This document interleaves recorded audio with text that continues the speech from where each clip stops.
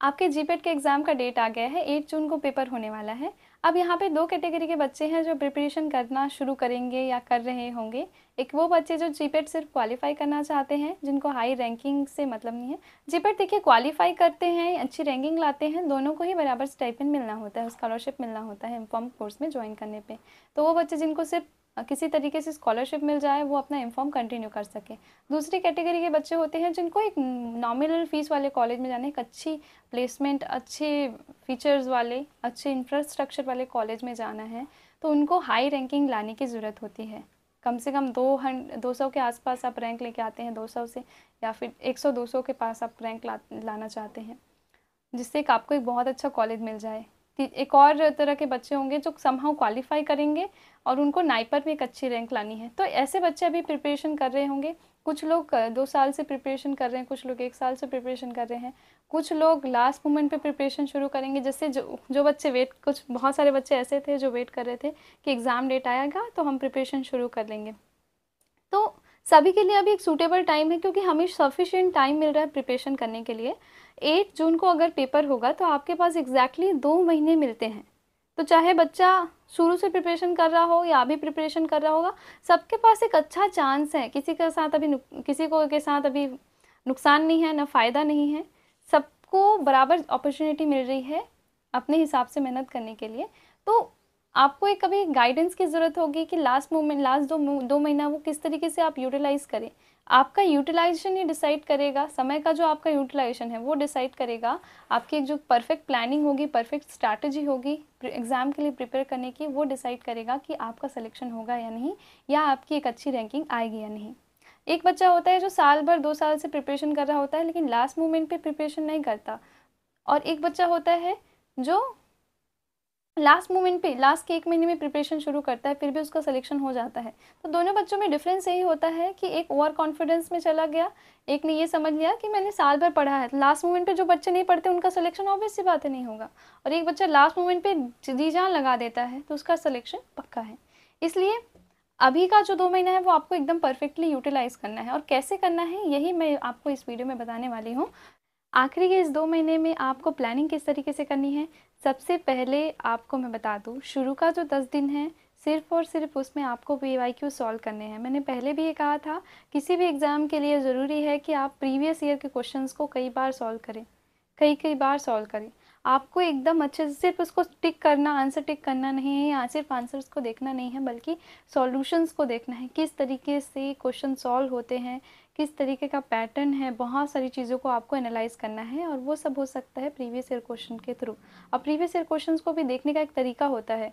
सबसे पहले आप जो रीसेंट ईयर है वहाँ से शुरू करिए। जैसे 2023 में लास्ट पेपर हुआ है जीपेट का शिफ्ट टू वन और शिफ्ट टू तो वहाँ से शुरू करिए, उसके बाद लास्ट तक जाइए। जीपेट 2010 में शुरू हुआ था तो वहाँ से, वहाँ तक आप एंड करिए। तो इस तरीके से आपको लेके चलना है twenty three twenty two twenty one तो क्योंकि रिसेंट जो पैटर्न है, वही आपको एग्जैक्टली मोस्ट प्रोबेबली आपको उसी पैटर्न का भी क्वेश्चन मिलने वाला है।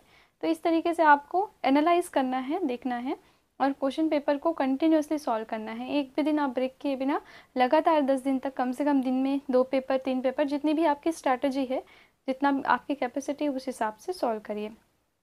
आप चाहे ऑफ़िस में जाते हो, काम करने जाते हो, या फिर आप कॉलेज में जाते हो, आपके पास इतना टाइम तो मिलेगा ही, दिन में चौबीस घंटे में इतना टाइम तो होगा ही कि आप समहाउ प्रीवियस ईयर क्वेश्चन को दस दिन में कर लें। उसके बाद उसके बाद आपको क्या करना है? थ्योरी प्रिपरेशन पे ध्यान देना है। कुछ दिन आपको सिर्फ़ थ्योरी प्रिपेयर करना है कि लास्ट मोमेंट पे लास्ट का जो पंद्रह दिन है, वो सिर्फ़ और सिर्फ़ एमसीक्यू प्रिपरेशन के लिए होना चाहिए।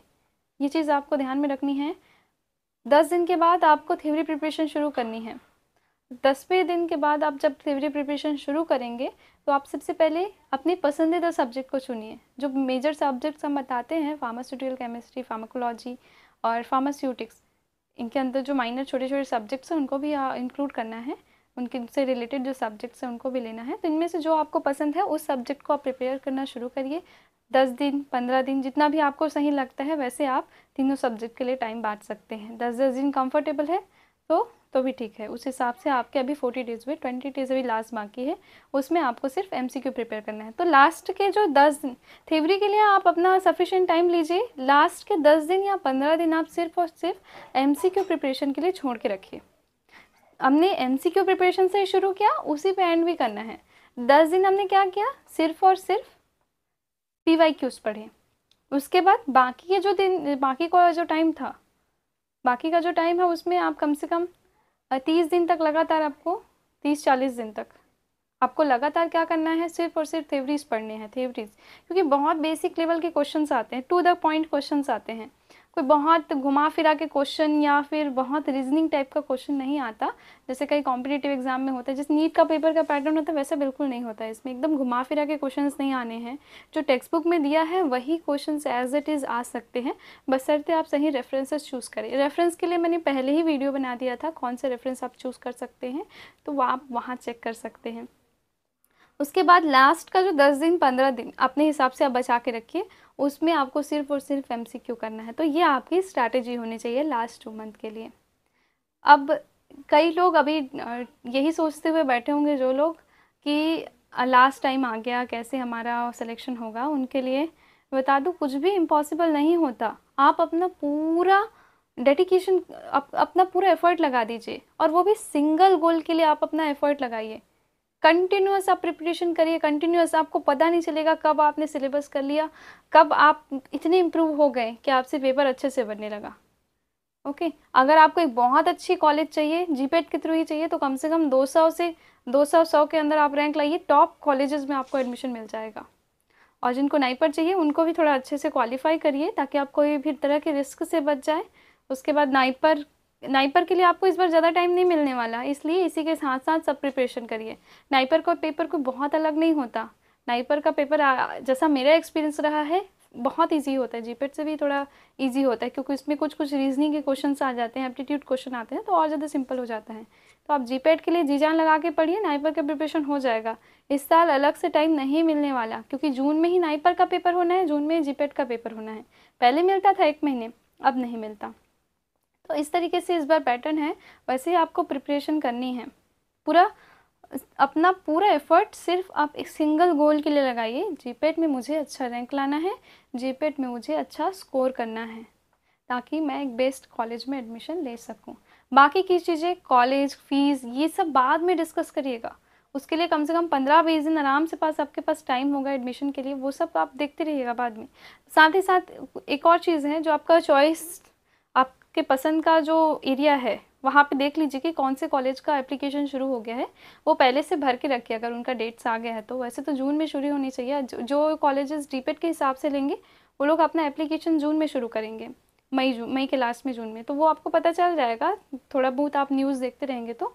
और जो उन कॉलेजेस जैसे कुछ ऐसे कॉलेजेस हैं, जो अपना खुद का एंट्रेंस रखते हैं, और उनका एंट्रेंस का डेट आ गया है तो आप डाल के रखिए। जेपेट के पेपर होने के बाद आप उस पर देख सकते हैं। तो अपने सिटी के हिसाब से कॉलेज भी देख के रखिए, लेकिन एकदम से आप वही दिन भर ढूंढते मत रहिए कि आपका जीपेट का पेपर ही छूट जाए। आप उसी का प्रिपरेशन नहीं कर पाएँ। तो फिर उस कॉलेज में आप जिसमें लेना चाहते हो, उसमें एडमिशन भी नहीं ले पाएँगे। इसलिए थोड़ा सा सारी चीज़ों को आप मेंटेन करके चलिए। आप एकदम छोटे बच्चे नहीं हैं, जिसको मैं ऐसे बताऊँ कि अपना फ़ोन स्विच ऑफ़ कर दो, अपना ये स्विच ऑफ़ कर दो, सब बंद करके बैठ जाओ पढ़ने। ये ये जो हम लोग नीट जेई में मोटिवेशन देते हैं, और वैसा मैं कुछ नहीं करने वाली जो बड़ी बड़ी कोचिंग्स में आपको झूठे दिलासे देते हैं, वैसे नहीं देने वाली। मैं आपको एक रियल पॉइंट ऑफ़ व्यू बता रही हूँ। आपको सेल्फ कंट्रोल चाहिए। Self control is very important for success जो जो इंसान सेल्फ कंट्रोल कर सकता है, अपने टाइम को अपने टाइम को अपने हिसाब से मैनेज कर सकता है और सही तरीके से यूटिलाइज कर सकता है डिज़ाइन कर सकता है अपना टाइम वो इंसान ज़रूर किसी भी एग्ज़ाम में क्या हर जगह सक्सेसफुल होता है। ये सब बातें आपको ध्यान में रखनी है। जिस तरीके से आपका लेवल है, आप पोस्ट ग्रेजुएट एग्ज़ाम के लिए प्रिपरेशन कर रहे हैं तो उस तरीके से आपको खुद पे, खुद खुद ही सारी समझदारी दिखानी है, आपको खुद के लिए सोचना है। ठीक है? ये एग्ज़ाम आप किसी और के लिए नहीं दे रहे हैं, आप खुद के लिए दे रहे हैं। ये सोच के चलिए, ताकि आप आपका जो भी गोल है वो अचीव हो सके। आपसे रिलेटेड जो जो भी चीज़ें हैं वो अच्छी हो सके। याद रखिएगा कि टाइम बदलने में देर नहीं होती। बशर्ते आप मेहनत करने के लिए तैयार रहें। अब मुझे कई लोग बोलते हैं कई वीडियोस में मुझे कमेंट आता है कि मैम अभी भी रीज़न मुझे कई कमेंट्स आते हैं। ऐसे पॉजिटिव नेगेटिव वाला। कई लोग बोलते हैं कि मैम आप नेगेटिव बोलते हो मैम आप ये तो सबके अपने अपने पॉइंट ऑफ़ व्यू हैं। मैं उस पर उतना ध्यान नहीं देती क्योंकि मुझे सच बोलना पसंद है। मुझे रियलिटी से आपको रूबरू कराना है। मैं आपको धोखे भी नहीं रखना चाहती।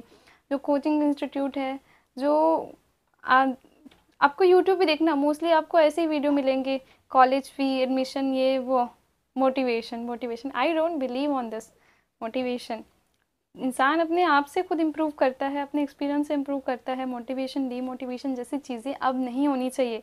नीट के पेपर तक करते रहे motivational video for NEET for that अब ये नहीं चलेगा। अब आप रियलिटी में एंटर कर चुके हैं। अपना अपना सोचने का तरीका बदलिए। अब आपको लाइफ के हार्ड सिचुएशन का सामना करना है उस तरीके से आपको तैयार रहना है।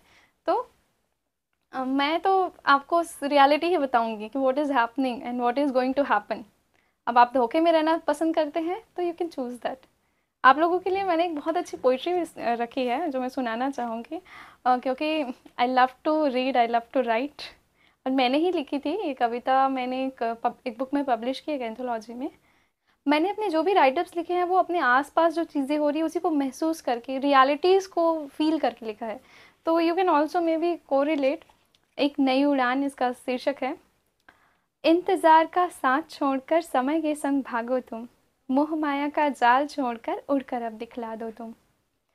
मिला है अवसर नए मोड़ पर मंजिल की ओर भागो तुम, भीड़ से थोड़ा अलग निकलकर खुद को नई राह दिखला दो तुम। अंधकार का जाल तोड़कर रोशनी के संग भागो तुम। जब नहीं मिलेगा कहीं उजाला, जुगनू बन दिखला दो तुम। खुद ही खुद का साथ निभाकर ज़िंदगी के संग भागो तुम। मोह माया का जाल तोड़कर उड़कर अब दिखला दो तुम, उड़कर अब दिखला दो तुम। Best of luck for GPAT examination अगर आपको कोई भी क्वेरी हो तो आप कमेंट बॉक्स में पूछ सकते हैं या फिर आप मुझे लिंक इन इंस्टाग्राम कई सारे वेज हैं, उसके थ्रू कांटेक्ट कर सकते हैं। कांटेक्ट डिटेल्स आपको डिस्क्रिप्शन में मिल जाएगी। वीडियो के डिस्क्रिप्शन में नहीं, आपको चैनल डिस्क्रिप्शन में मिल जाएगा। So stay healthy stay safe have good day.